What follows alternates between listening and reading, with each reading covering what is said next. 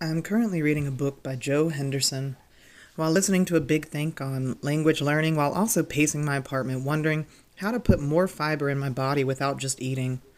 Mid sentence, I got distracted by the word Metamucil, put my pen down, and opened up my cabinet to find the Walgreens version of a fiber supplement. Two teaspoons.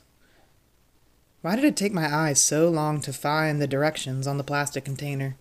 I haven't worked in a few days, been sleeping at weird times, passed some grad classes while learning next to nothing, and just keep pacing, if not physically, mentally, if not mentally, involuntarily.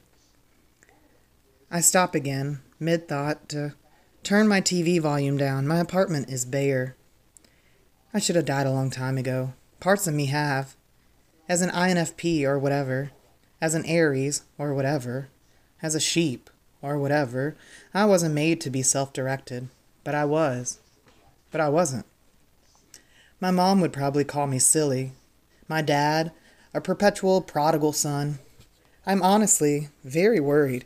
I just found out that my already poor health is newly poor again. No money, no health, not much of a future, gay incel of a middle aged man. It's pathetic. But I'm no longer wanting to be a loser. I want to be a fun runner. As Joe wrote back in the 70s, winning is learning from your bad experiences. Winning is accepting the results as they come. Winning is continuing to run after fate had decided that you are past your prime. Losing is living in the past.